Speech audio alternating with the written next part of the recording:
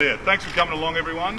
Um, this book uh, that we're talking about today is um, pretty much channeling our uh, our greater ethos as a newspaper, and and i would like to pass over to uh, Prime Minister Turnbull to talk about that and, um, and and the position we play in the Australian media and, and the state of Australian media in general. well, well, thank, you, well, thank you very much, Clancy, and it's uh, great to be here with a federal member uh, for Betoota. Uh, the, uh, this, uh, this is, of course, is uh, Australia's um, oldest newspaper, so it's asserted. That's very good. And of course, published in one of Australia's thriving metropolises, Betoota. and I want to just say that there's a great example here from the Betoota Advocate that other media organisations can take up. Threatened by the digital revolution, formidably challenged by Facebook and Google, many have cried foul and unfair. Stop doing it to us, you digital giants. What does the Betoota Advocate do? They diversify into beer. They know that is one thing that will never go out of date.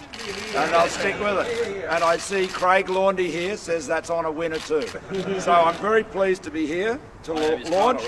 Got, you've got it? Very good. That's very good.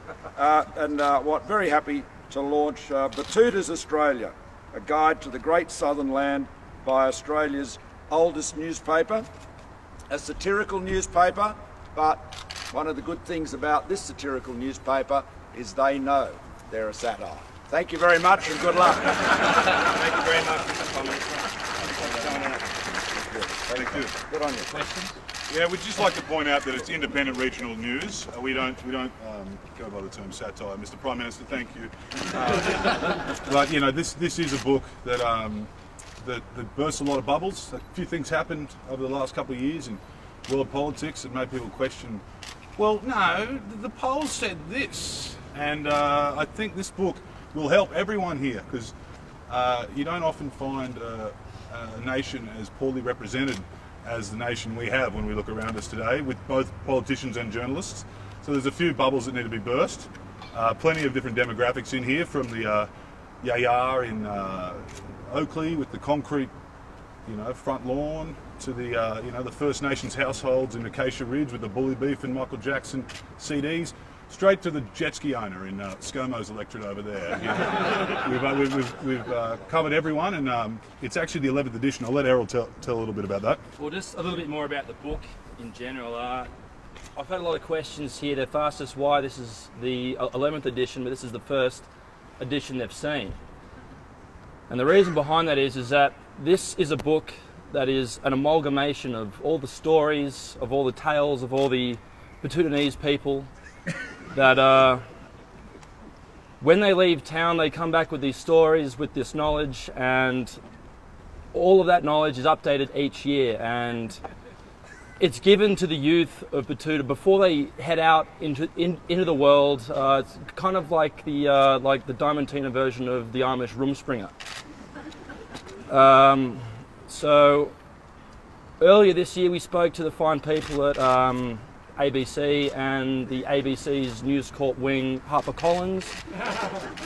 and they said, uh, Would you mind putting this book out uh, nationally? Uh, would you rather this have a national audience? Because this book did garner a bit of a cult like. Uh, I'm, I'm, not sure how to say it, but uh, lots of people wanted it uh, who didn't have access to it um, which we thought, you know, we might as well stick the ABC pig while we had the chance. So we said yes. The News Corp arm of the ABC, and uh, Collins ABC Books. And yeah, so here it is uh, for every Australian to enjoy. I'd just like to say. Um, this will break down a few stereotypes, uh, hopefully. You know, we, we were talking about bubbles before, and there's a lot of communities that don't get acknowledged, and they're not immediately acknowledged in this crowd. Um, a lot of people from different backgrounds. Uh, you know, I think if Cory Bernardi were to read this book, he'd realise that his constituents don't really care about little boys wearing dresses. They just want to uh, find out when uh, they're going to take a tax break on Farmer Union iced coffee and uh, when the next Hilltop Hoods album's coming out. That's the biggest concern for his constituents. And The same goes for Albo, mate. They don't care about workers' rights or public housing. They just want a cafe that serves wheatgrass shots with free Wi-Fi. That's your constituents. You've got to think about them. And of course, Tony Abbott, there's more gays walking around your electorate than there is in the Young Liberals. So I think, I think, I think we need to break down a few barriers here and we start looking at everyone in this country. Thank you, everyone, and thank you for coming along. Help yourself to the beer. Thanks very much. Thanks very much. Thank you very much. Can we get the uh, Prime Minister a, a, a silver bullet? Yeah.